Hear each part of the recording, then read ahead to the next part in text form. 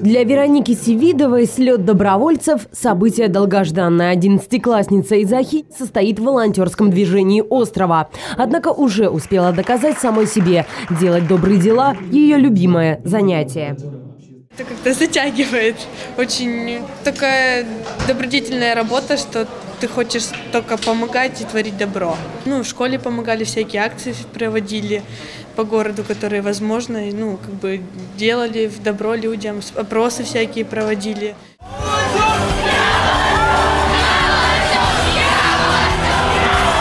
Волонтерский корпус 70-летия Победы в Великой Отечественной войне был создан почти год назад. За это время под эгидой корпуса прошла масса мероприятий. Акцию «Свеча памяти» транслировали по всем каналам страны. Сахалинские добровольцы в этом году вошли в тройку самых ярких волонтерских движений России.